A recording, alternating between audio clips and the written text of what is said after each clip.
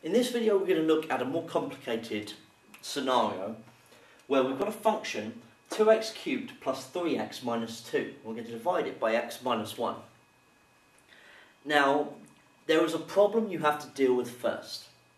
When you're dealing with a cubic, a cubic in general has four terms. It has a cubic term, a squared term, a linear term, and a constant term. But this function doesn't have the quadratic term. So effectively you have 0x squared.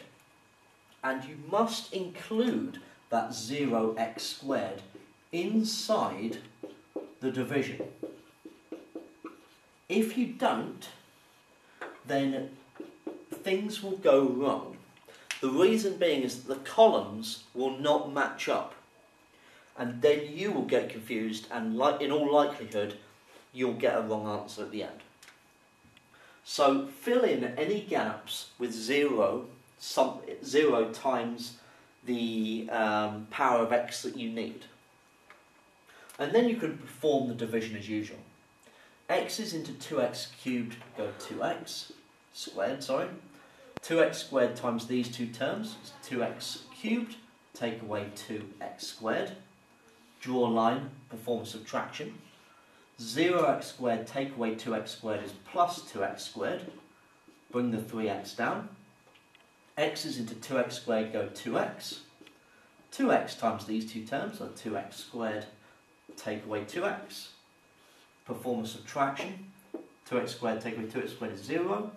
3x take away 2x, take away minus 2x, sorry, is plus 5x. Bring the take minus 2 down. x's into 5x go 5. 5 lots of x minus 1 is 5x minus 5. So we get 0 minus 2 take away minus 5 is 3. So that means that f of x can be written as x minus 1 2x squared plus 2x plus 5 plus the remainder 3. Okay? So, really, the only difficulty and the only thing that is going to catch you out if you allow it to is putting in the 0x squared there.